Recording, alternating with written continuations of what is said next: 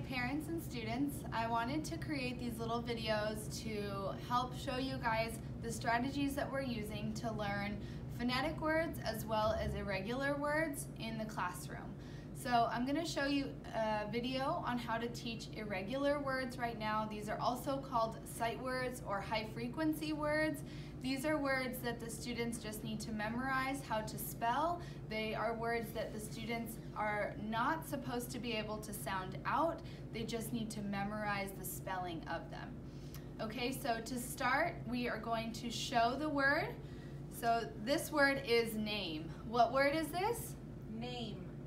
Okay, yes, this word is name. A sentence using the word name is, my name is Mrs. Farias. Can you think of a word, a sentence using Mrs. Can you think of a sentence using the word name? My name is Miss Lorraine. Great job. Okay, so now we're going to tap it out. So this means that we tap on our arm each letter in the word. Ready? Go. N, A, M E. Name. Name. What word is this? Name. Great job. Okay, now we're going to finger spell.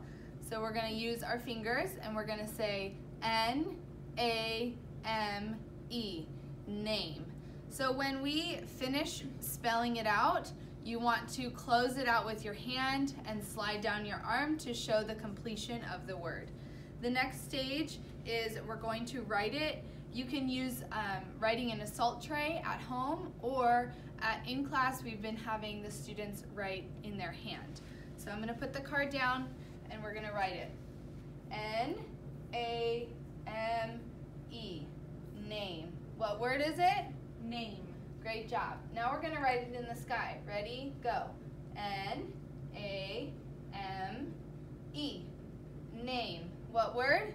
Name. Great job. Okay, now we're gonna take a picture. Go ahead and take a picture with your brain. Take a picture, take a picture. Great job. Let's close your eyes and I want you to visualize the words that, or the letters that are in the word name. What letter comes first in the word name? N. Great job. What letter comes second? A. Next. M. And the last letter is? E. Great job. Okay, so during this phase of visualizing the word, you really want the students to be able to see the word in their brain and be able to picture the different letters that are in the word in their mind to help them be able to spell it with more frequency when they're writing the word. So once they are able to say each letter in the word or spell the word out loud, then we want to encourage the students to write the word down, whether it be on a piece of paper, on a dry erase board, it doesn't matter, but um, that practice of writing it down is really beneficial. Thank you for watching.